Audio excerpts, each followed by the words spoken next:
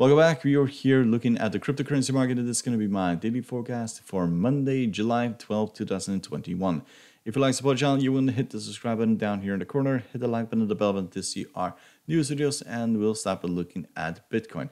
And as you can see, we have rallied on uh, basically on Sunday, and also now we opened it in, in the green. So we're trading at the 34,280 uh, at this current stage we are struggling at the 50 moving average, and that is up here, give or take uh, 35,400.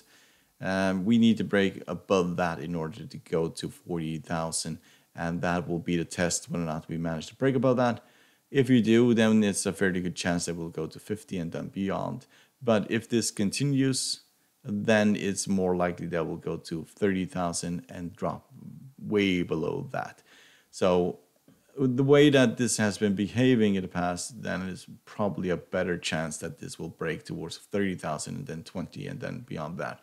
It doesn't look like there's um, the um, enthusiasm for this market has just completely gone and, uh, and the hype is basically also gone from this market. MACD is uh, bullish at this point. Mac, uh, the stochastic is flat and this RSI is also flat and there's a lot of room to the downside. So let's look at Ethereum. So Ethereum um, has rallied a little bit. This uh, um, broke down. I think it was on Wednesday, and hasn't really recovered after that. It uh, rallied up towards the 250 moving average and just just completely collapsed. Now we're struggling at the 20 exponential break below the 200. That could open the door to roughly 1700, and the 300 moving average down here at 14 at roughly 1500.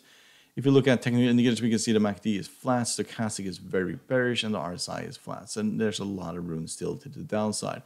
300 moving average down here at 1500 will mostly be target if this continues. And it is technically just the 200 moving average that is holding. If we break above the 50, then we could go towards 300, but this doesn't really look good. And if Bitcoin starts to uh, fall apart, then most of the other cryptocurrency market uh, will usually follow. So let's look at Cardano. So Cardano as well fell last week and have not recovered uh, any meaningful in this uh, weekend. And at the moment, we're struggling at the 20 exponential, trading at to 1.33. And fifth, uh, MACD is uh, still in bearish territory and flat. Stochastic is bearish and the RSI is flat. So it just looks like a market that is slowly dying. And a test of the 200 moving average, that could be the next move here. If Bitcoin starts falling, then this probably will fall as well. We need to break above the 50 moving average in order to go back towards $2. So let's look at Litecoin. So Litecoin, very similar thing here. We're just slowly going lower in this market. Probably much easier to see it right here that we're struggling at this uh, resistance line and uh, we may, may well fall towards the $100 level if we don't break above here and go and test the 50 moving average and so on. We need to break above the 50 in order to go to, to 200 and that is around the $200 level and um, that just seems really far off as we can see that we have rallied up towards the 20 exponential broken down and then just continue going lower and lower MACD is still in bearish territory and is bullish, and the stochastic is bearish and the RSI is flat. A lot of room still to the downside. Next move could be towards the 300 100 moving average or up towards the 50 moving average at 154.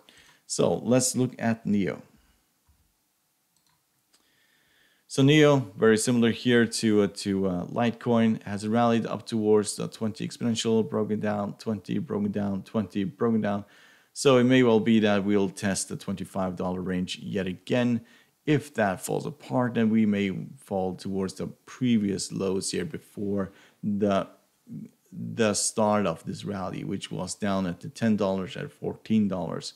You can see the MACD is still in negative territory, but it's bullish, and stochastic is bearish, and the RSI is flat at this current stage. So let's look at Dogecoin. So Dogecoin slowly as well falling towards the 200 moving average, uh, drop below the 200, opens the door to the 300 down here at 0.11, and a drop below that, well, then we are going to, well, to a very, very low digit here. So 0.005 is probably as far as this will go to the downside. MACD is flat, stochastic is becoming bearish, and the RSI is flat. There just isn't that momentum that we saw here. The hype in this market has completely vanished.